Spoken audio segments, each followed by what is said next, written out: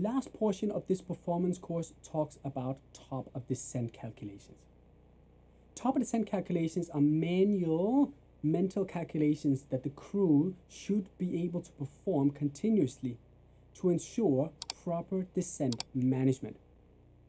And the whole purpose of descent management is to ensure that when we start our descent from top of descent and down, that we keep the operational cost as low as possible.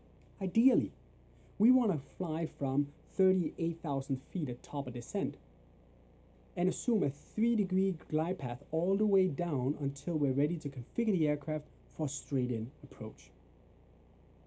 We want to, during the descent, keep the engines in idle. If we can, from top of descent until we start configuring the aircraft, keep the engines in idle, then we have obtained the lowest possible operational cost. This is not always possible because we are under ATC guidance and due to traffic flow management, delays, etc., we may be getting radar vectors, we may be getting holding, which then adds to the cost. But our operational objective should be to try to descend the aircraft and manage all the way down to make small adjustments, keeping the engines in idle, lowering the cost. And to do that, pilots must always know when to descend and in doing the descent, know if you're above or below this optimum glide path, what your optimum vertical speed should be, and how to correct. And that's the aim of this part of the presentation.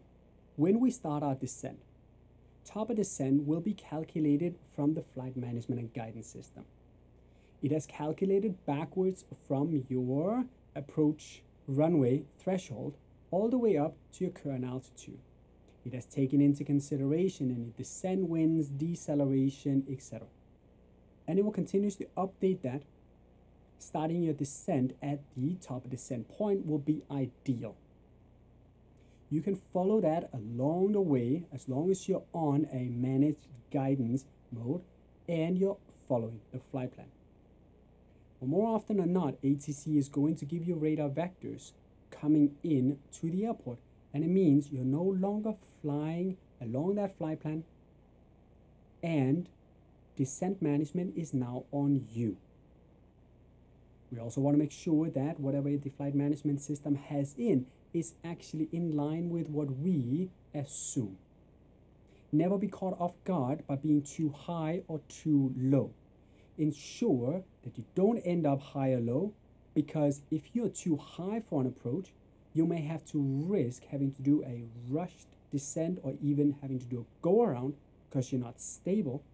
Or if you're too low, we come down, we have to add power to the engines, and that increases the operational cost, leading to what we call dragging the aircraft. We want to try to hit that approach straight on as part of the descent and kind of just continue the descent all the way down. When I come down on a descent, I have to do what's called descent management.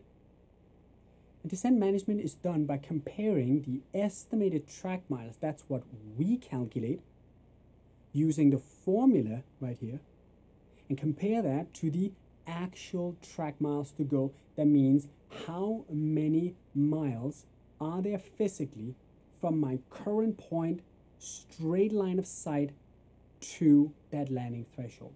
Not on the flight plan. The flight plan might take you all sorts of ways, direct line of sight. And how can that be calculated? Progress page.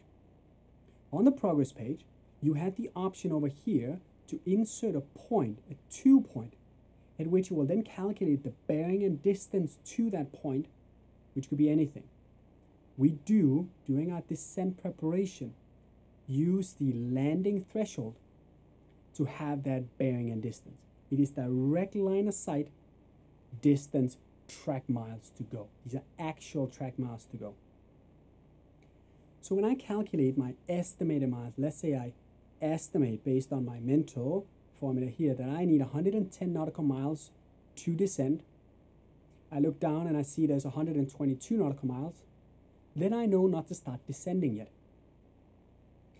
Then we come further down, I do the calculations over and over again, and I find out that now I need 50 nautical miles, but there's only 48 nautical miles to go. If I calculate a higher track miles to go, then I am high on my descent profile. If your number is high, you are high. If your number is lower than the track miles to go, you are low. Calculating this once is not enough. With ATC giving you radar vectors, you may find yourself going straight to the airport. Then they're going to give you radar vectors going this way. Then they're going to give you radar vectors going that way. And then radar vectors going straight again. When you're not going straight to the airport, but going here, you may find yourself that your track miles down here, they don't change. But this will, of course, because you are descending, so you'd have to make changes along the way to adjust. Let's look at a little example here and put it into a little bit of context. Remember, this is mental math. This is not complex math done on a piece of paper with your head down in a cockpit. You should continuously do this in your head. So practice during your training would be ideal. I made a little example here where the aircraft is currently at flight level 330 so with an elevation of 109 feet, which is approximately sea level, we have 33,000 feet to drop. Delta flight level 330 divided by 3 gives me 110 nautical miles. So I will require 110 nautical miles from my top of descent all the way down until threshold. But that's not the only thing I'm going to take into consideration because I'm doing this calculation before my top of descent my estimated landing weight and my current weight is 62 tons. Indicated airspeed at this point is 310 knots and I have a 15 knot headwind. So I will correct for the weight being above 60 tons, 2 tons above. I will account for the 310 and for the 50 knot headwind. Headwind decreases the distance, High indicated speed increases the distance, heavy weight increases the distance, and this right here is always an added factor since I have to drop the altitude. I calculate quickly, I need 118 nautical miles from my current state down to threshold. This is based on a delta flight level 330 divided by 3 minus 5 nautical miles because I have a headwind, 10% of 50 I also have here 2 nautical miles added because of the weight being 2 tons above 60 tons and 11 nautical miles to decelerate 10 nautical miles for 300 knots and then an additional 1 nautical mile because I'm 10 knots above the 300 giving me 118 nautical miles to descend. We call this estimated track miles to go. If I do a scenario here where I then look to my progress page and my bearing distance to the threshold says I have 122.5 nautical miles actual track miles to go, well then I can see I don't need to stop my descent just yet. I should be doing so when this hits 118 nautical miles. Providing everything stays perfect, I will be able to just descend with the engines in idle all the way down with a 3 degree descent path. But coming down, I should continuously do the calculations in an abbreviated version to make sure I catch and make corrections if I'm high or low. And with ATC giving you radar vectors around the place, you want to find yourself high or low all the time. Let me continue the example here and say I will do one of my calculations here at flight level 180. My speed is now 270 and I'm not taking into consideration the weight or the headwind at this point. I have done that from the top of the descent here. This is descent management. So I will just calculate the distance required to descend as well as the distance required to slow down for my current speed. Delta flight level 180 divided by 3, 60 And for speeds between 270 and 280 knots, I add 7 nautical miles to decelerate. So I should require right now 67 nautical miles to go. That is estimated track miles.